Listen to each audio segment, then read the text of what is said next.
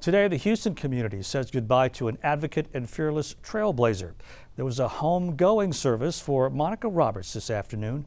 Roberts spent 15 years telling her story and the stories of other black transgender women through her award-winning blog. And she was an original member of Houston's LGBTQ Advisory Board. She died after a medical emergency at the age of 58. Today, there was a virtual funeral. Then family, friends, and city leaders gathered at the University of Houston. So we want to thank her. We want to thank her for her life. We want to thank her for living her truth. We want to thank her for making it so much different and a positive difference in other people's lives. So therefore I, Sylvester Turner, Mayor of City of Houston, hereby proudly proclaim this day